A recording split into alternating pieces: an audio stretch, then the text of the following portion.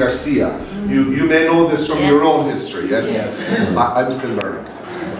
But uh, what about the lynches first? Okay. So, do you know that the Gaelic meaning of lynch, the Irish meaning, O, Oriental. Fish. Fish is Fisherman. fisherman. The literal translation for us is the sea or mariner. So now we have Admiral de Brown and we have a mariner in the Lynches. So we have a little connection there. And so maybe some of your forebears sailed from Ireland to Argentina, the Lynches and the Browns. Perhaps, we don't know. The Lynch name is most popular in Cork, down in the south of the country. But in the history, the Lynch name is very popular also in Connacht. So you would have been a very important family in Connacht. And Browns were an important family in Connacht. Connacht is the area of Galway, Mayo, um, all of the western seaboard, you understand? Am I speaking too fast? No. Okay, you can, you can understand a little. Okay. So, um, and uh, I also was looking and I see that, the, uh, of course, your most famous lynch is uh, Che. Yeah. Che Guevara. Did I say that correctly? Che. Yes. Yeah, Che yeah, okay. So congratulations for that for, for that connection for you. Um, He's a nephew, sorry. He's a nephew. Direct Che. nephew. Yes, yes, I am. Really? He- His father is his brother. My, my father is the brother, the brother of the, they, they were five uh, brothers and sisters. Fantastic. And my father is the last in the first marriage of my I, I, grandfather. I Still married. When you go to the front. Bueno, bueno. So let me speak to you a little of, of Brown now. Um, so in 2007, let's come back to this city, to Galway. In 2007, um, the city of Galway was very proud to host your sail training vessel, the Frigate, Frig, Frigate Libertad. Yes, yes. Right here on the quayside. Right? It was the first time a ship of this size was able to navigate into the position. Your capitan was very afraid. but, but they did it. They did it. And, and, and, the purpose of this voyage, this long voyage from, from Buenos Aires to Galway, and now you know how long the voyage is, was to celebrate the 150th anniversary of the death of Admiral William Brown. So that's why he was here. Okay? And I attended that ceremony. Uh, it was a beautiful afternoon and a beautiful ceremony. I attended that ceremony with my brother, J.J. O'Hara, who was at that time El Presidente, the president of the Admiral Brown Society in Ireland. And we were special guests at the Capitol. So I think uh, I fell in love with Argentina that day. I think so. Uh, now, sadly, my brother, um, he died the year after this. Uh, and I was asked to take up the position of Presidente. So I had to learn a lot. Um, and, and I have learned the, the full story of, of William Brown, a remarkable story. And I have been fortunate to travel to your country on three occasions. Yeah, three. However, my late brother JJ O'Hara was in Argentina 18 times in Spanish. It's 18 18 times. So he, he had a passion and he had uh, an enthusiasm. And your friends in Buenos Aires and in Mendoza called him El Loco JJ. um, so why do we connect, JJ and my brother? Why do, or my brother and I, why do we connect? Because he came from the same small town, Admiral Brown, in Mayo, in Foxford, as we come from. So that's our connection. Okay? Strong connection. And that, from this location, is one hour to drive. One hour. We must go to Foxford. Yes. Yes, of. You will be in Foxford. Yeah. You want to go by the time you're finished. you will change your itinerary. and we want to tell everybody the story of Brown. Can you understand me? Yes. You're okay? Yeah. Yes. So, uh, so I, I know that Brown is respected and, and indeed he's revered in, in Argentina. I know there are 1,100 streets called Admiral de Brown. 1,100. And I think 140 schools Admiralty Brown. It's fantastic. In Ireland, there's one. One street, one street in Foxford. In Foxford. Just in time. Just in Foxford. However, uh, the name is getting bigger, and now in the capital city in Dublin, we have a beautiful statue on Sir John Rogerson's Quay in Dublin, after Admiral William Brown.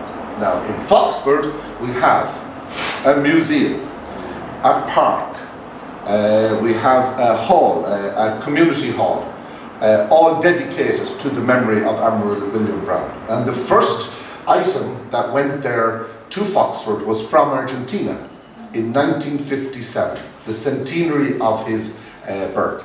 Your Navy came over and presented the people of Foxford with a beautiful bust, you know, like a figure of, of Admiral Brown. And that was the first time that there was a true connection between Argentina and Foxford. Now that connection is much stronger.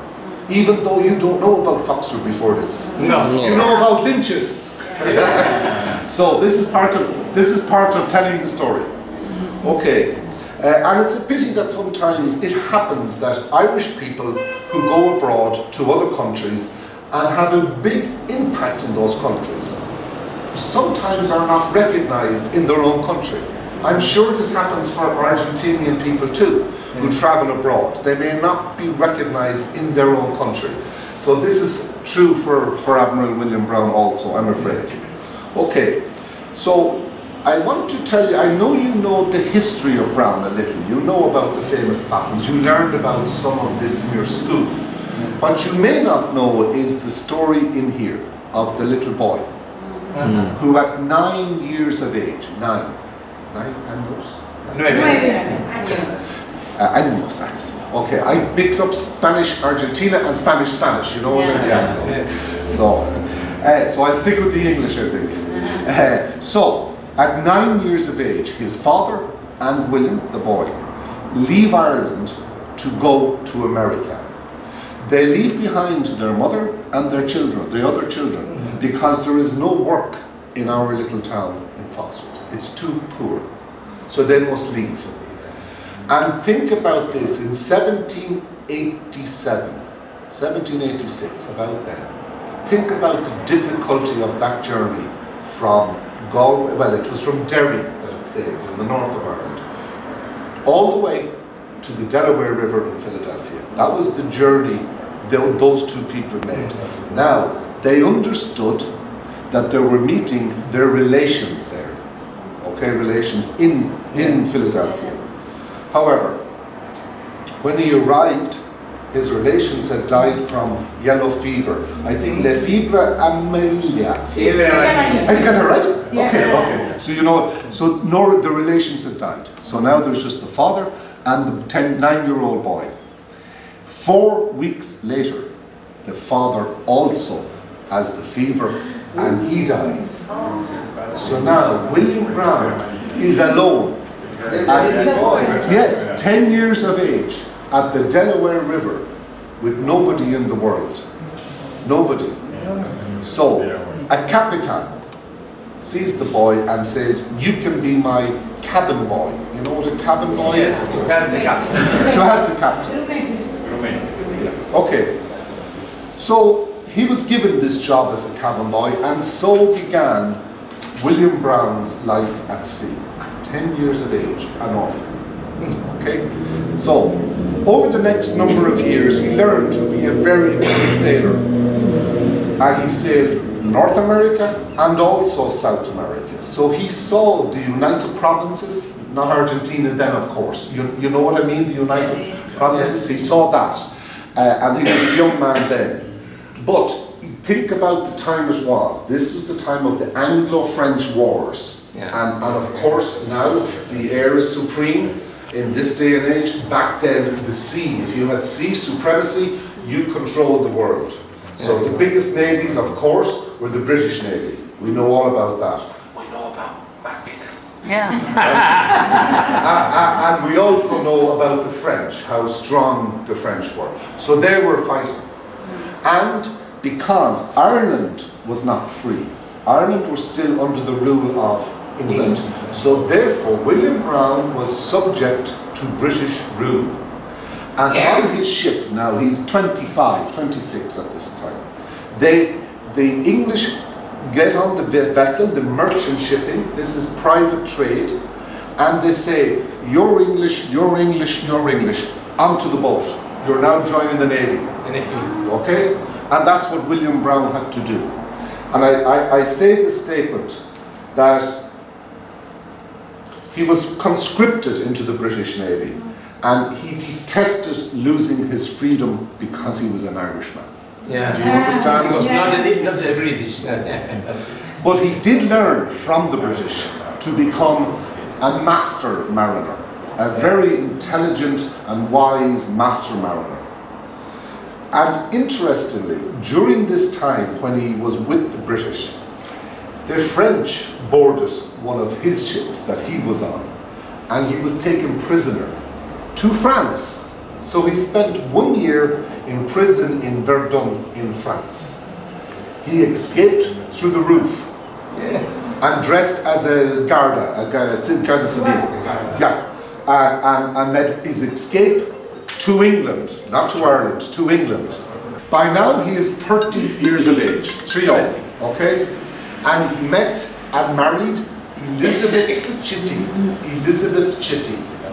Okay? Where was she from? She was from England, from uh, Plymouth in England, which, which is in the south of England. And her family were very wealthy merchants of shipping. Smart Admiral Brown. so, his dowry, can you explain a dowry? His dowry? Dowry? Dote. So, Okay, was one ship, please. Okay, so his first ship he now had was called the Jill. And he sailed this, yes, with his new wife Elizabeth Chitty, who, who was pregnant, oh. from, from England directly to Buenos Aires. In, and that was in 1809, just one year before the revolution. Okay, one year. Now remember, remember, Do you know, do you know why he went there? Why he decided Of to go to course, because his understanding of South America was like we talked about England, that the streets are paved with gold. There, is, there are business opportunities. Remember, William Brown, above all, was a businessman in his head, but he was also a very proud Irishman. Now, so he arrives to he arrives to Buenos Aires in 1809, 1808, around then. But in trading back and forth, all of the merchant ships then would have cannons in their in the sides. of them. Yeah. So he was used to defending his ship. And others, the rebels in Buenos Aires, knew that William Brown was an accomplished seaman. They knew that he was a, very able officer of the British Navy. So they knew this. And if, of course, you know the, the story of the revolution of the 25th of May 1810. But remember, Brown did not partake at that particular day. His involvement was perhaps four weeks later when the Spanish surrounded Buenos Aires. Do you know Yeah. this? Okay, with their shipping. And William Brown was approached by the rebels and asked, Can you help us? Mm. And he had six or seven or ten small frigates, small frigates, Yeah. against 30, 40 of the, of the Spanish. It- Spanish. It's incredible. Only a local Irishman would do this. but he was intelligent. And he, he did some maneuvers on, on four different occasions just in this one war, which beat back the Spanish.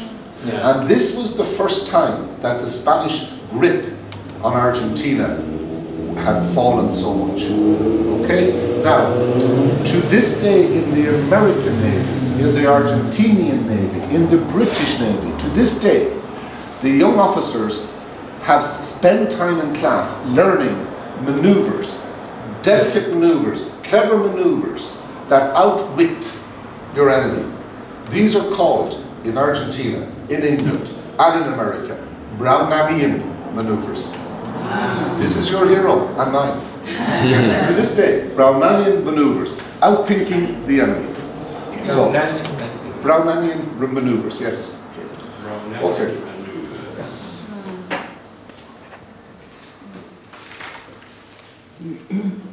Now, after the battle, the famous uh, battle, put, put, again, this is after the, tenth, the, the, the, the 25th of May, after this day, just shortly after this date, and he has now defeated the Spanish, he is marched into Buenos Aires in triumph.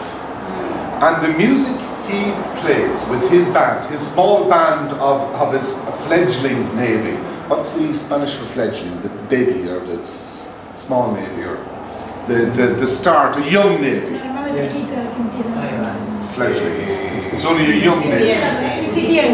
Okay, so the first thing he does is he goes to his, his uh, musicians, right? Maybe one was a lynch, I don't know. He goes to his musicians and he says, play this tune. And the tune is called St. Patrick's Day in the Morning. It's an Irish air, but it's a marching air, okay?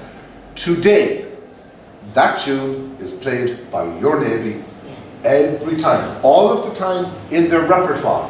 You will hear St. Patrick's Day in the morning. So now you understand the importance of Who wants to listen to it?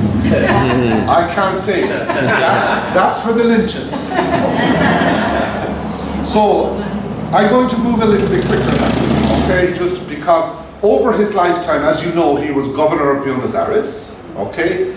And he, we say his adopted country because to us he is always an Irishman. Uh, but think about this: he builds the navy up, and then he retires, and he goes to, to work on his farm. Okay, so he's really a farmer as well. You know, it's an incredible story of this man. And last year, I was fortunate enough to be in the your embassy, our embassy in Buenos Aires, and I met with the seventh descendant of William Brown. He is also Guillermo. I say this. Guillermo. Guillermo. Guillermo Brown, the seventh descendant. He looks like him. He really does. He's the great, and he's like this. He really does look like him. But he is the only one not to join the navy. The only one, all the way down. Every other one joined the navy. Do you know why? Because I think he's going to decline. No, he's seasick. I tried to, but he was seasick. María.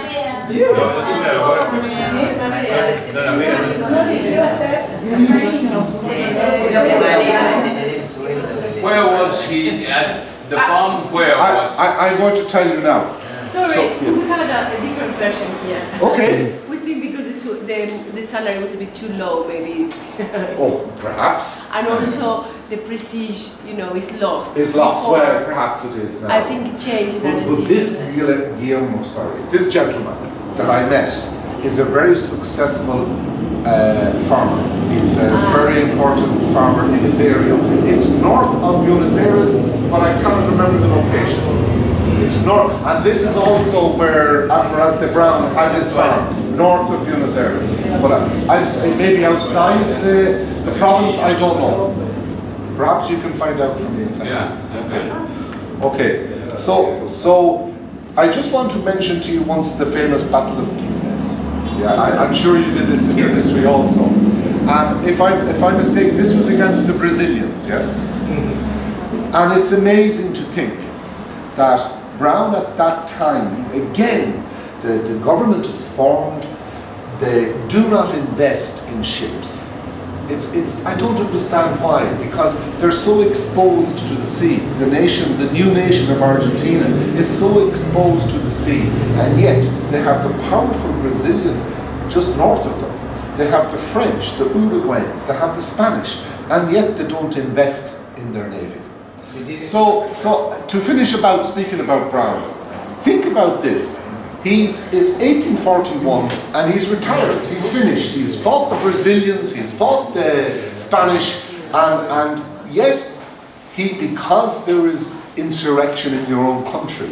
He's not quite famous. He's he's still being treated a little bit like he could go with the government or he could go with the rebels a little. They're a little bit wary of this, but yet the government called him back into service at the age of 64. You know, like the Beatles song, When I'm 64. You like when I'm 64, I'm not getting on a ship. And this time he goes to fight Uruguay. Now, incredibly, five years previous to this, Uruguay was created. And who helped set up the navy? William Brown. so now he has to go and fight the Uruguayan navy. This is true. And he fights them. And their most popular leader was Giuseppe Garibaldi. I don't know if you know him. He became famous in it's famous Italian. Yeah, Garibaldi. And it is told about Garibaldi two things. One, one that uh, Brown had his in his sights in the ship, and once Garibaldi raised the flag, Brown allowed it to pass. This was a very noble thing to do. And Garibaldi was very appreciative of this. And in Brown's later years on his farm, Garibaldi came to see him as a private citizen. Yeah, so it's, it's nice to see that. Um, so he lived out the rest of his life in the famous, help me with this, Casa Amarilla? Casa Amarilla. Yeah, this is the yellow house. Yes. Uh, and and uh, of course, a replica of which is the Yellow House, which is now the museum, the Navy Museum for in Buenos Aires. Is that correct? Yeah, I, I've been In La to- Boca. Yeah, in La Boca. Yeah, I've been to see it. It's, it's beautiful. It's very nice. So, to finish, William and Elizabeth, his wife, did visit Ireland one time, just once. Mm. A very arduous journey. Like it was 1847, he was 70 years of age. And he came back to visit just like the Lynches, okay? But you came on the plane. Yeah. So he came back to Ireland by ship, came to Southampton to visit her family, and then sailed to Dublin and drove across the country or rode across in horse and cart right across the country to Foxford, to mm. my home. And at Because that he's point, oh, his, his one brother, his brother was there. He was very young at that time. But he was considered 70 at that time. He he was Very young. 70. He You're was very old 70. at that time. Of course, but yet his brother recognized him. Ah. His brother knew him. And he hadn't seen him since he was nine years of age. So his mother was gone. His brother was even younger. Yes, yes, a little younger, a little younger. Now, and, um, so, so what you may not be aware of is think about the year. It was 1840, 1840, Seven. yes, 1847, thank you, which was also the second year of the Irish potato famine. I re- ah, Potato famine. The. He came during the famine. So can you imagine what he saw in the west of Ireland? Which, like, Ireland lost two million people. Two million people. And- They died. Of- yes. Some went, some Other some million left the country. So we, million died. one million died, and over one million left the country. One and a half left the country. So, can- so that was a difficult for him. Now, we have a record that he gave a substantial amount of money to famine relief, to, to hmm. Daniel O'Connell's fund. O'Connell had just died as well, but to Daniel O'Connell's fund to help. So we knew his heart was still very much Irish. So then he, he of course went back to Buenos Aires on, on March the 3rd, 1957. He died. And at the time of his funeral, he was given a full military funeral. And Mitre, who was the President. yeah, not at the time, he was the Minister of Defense at the time, and became the President later. Yeah. And at his graveside oration, he stated, uh, Brown, standing on the deck of his boat or his ship, was worth an entire fleet to us. Which was a very moving thing to say. Um, and the Recollecta, Recollecta, Recollecta, Recollecta. Recollecta, um, cemetery is where, where his monument is. And the first, the first time I saw it, I said, yes, it's green.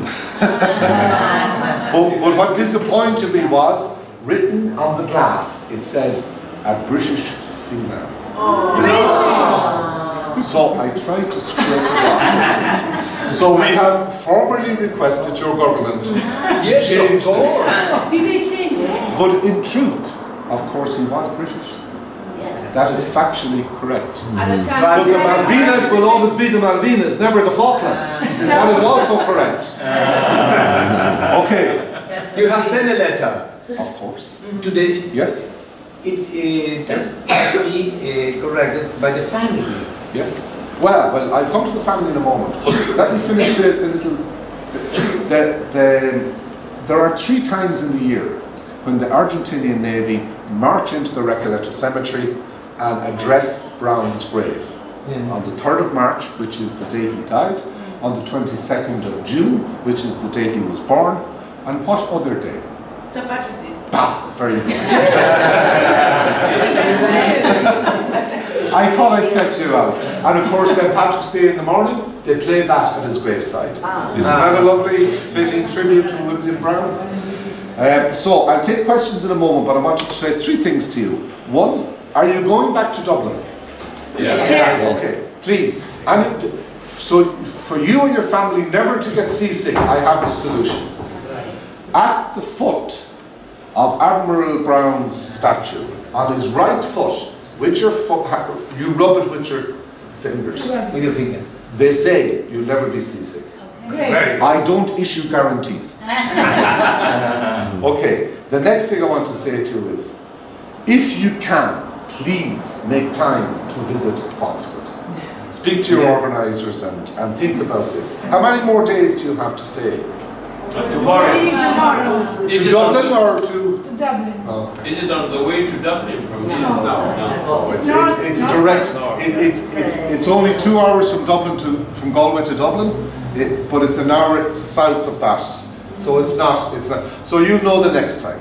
Okay, To please. the north or to the south? And- Oxford. To, to, the, to the north to the north, north of Galway. We're I'm north. going on the first to the north, to Ashford Castle.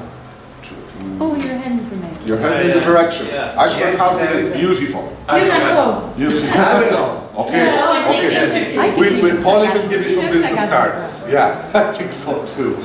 And the last thing to say to you is that you remember I spoke about the, the, the seventh descendant, the farmer Yeah. that didn't Yeah. go to sea? Okay, when we were in Argentina, my late brother JJ commissioned the film. And JJ died and the film was, was lost. So I approached the filmmaker in Argentina and the filmmaker in Ireland. And together we produced a documentary called JJ E. Admiral. JJ and the Admiral. Ah. yeah. So we, we, And we- JJ and the Admiral. So we have that video if but it's not dubbed in, in English in Spanish. It's it's only in English. So Pauline has them there for 10 euros if you like a memento. It's, it's no there's no difficulty Yeah. with that. Please don't feel you must. Um, and, and my last thing to say to you is, and my last thing to say to you is, please tell your friends about Ireland. Tell your friends about Foxford.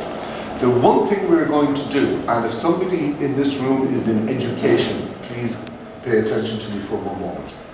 We are creating um, a program which will be called Cordia y Amigo. Cordia and Amigo. Cordia is friend. Ah. So, friend and friend, okay? And very established in Ireland are, uh, is, is a, a, a program called the Gaeltacht. Now, it's where teenagers leave their homes and spend maybe three weeks living in the west of Ireland where we speak fluent Irish. Irish is the first language of the Yeah. family, you see? and they stay with the family and they're immersed in Irish culture. These are Irish children, of course, so from Dublin or from Cork, and they're brought to various areas called Gaeltacht, which are Irish speaking areas exclusively. We are creating this in Foxford, and we're calling it the Cordia e Amigo program for Spanish speaking people to learn English. Nice. And because of our connection with Brown, we're reaching out to Argentina. Already, we have had people from, um, what's the one, Rosario, Mendoza, yeah, from the University of Rosario, and some of the younger students from Rosario. So already it's beginning. Do you have some information about that? Yes, of course, I can, I can give you my business card and you can have a look Yes. at that. So perhaps when, when Benedict is, is a But we live in London, so. you live in London, Yes. send them over. Yes. But his English should be pretty good. Yeah. Uh, so it shouldn't be a problem. Okay, this is, are there any questions? Because I, I know you want to get moving on your, on your talk and thank you for that. Have you any questions that, that, about Ireland uh, as it relates to Brown or have I, have I explained everything okay to you? Yes? We did have a recreation of the Battle of Martin Garcia during this year's St. Patrick's in Plaza San Martin. You did? Quite near the monument, Yes, yes. I know. And they played I also there. the, The played, they played music. the music. Ah, so you recognized it, yeah. I, I was at that statue. I, it's, it's a very big statue. Is that the one in, in, in Mendoza or in? No, no, Recoleta, the one in Recoleta. Okay, Recoleta. Like nearby, in Plaza San Martin, Yes, has a hill inside. I know, I know what you're speaking of. Yes, yes, yes. En la Embajada de Martín. Hicieron la recreación de la batalla de Martín aquel día, Very es cool. noticia. And we, and we knew from the Southern Cross, which is a um, local newspaper. Oh, I know it. I read it all the time. Well, the English bits. Yes, well. I She was works there. there. Oh, you worked She works there. there. Oh, you worked there. Oh, I'll speak to you in a moment before you go. Anything else? No, I, I just want to know the last thing. Uh, you saw, so that you have a program, an interchange program. The uh, exchange For program? the, for the Yeah. teenager, he, he's a boy, I- still a boy. That's but okay. He's By the 11 time- years by old. the time but he's we- 14 or we want 15, we'll have a perfect. But we live in Spain. That's okay. Also but- with Spain but- as well. But the English that's spoken on the west coast of Ireland is the best spoken English in Yeah. the world. Oh, okay. Uh, you hear my English? It's Yeah. not so Yes, bad. yes, yes. You can understand it in Thank you. So this is what we're hoping to teach to your children.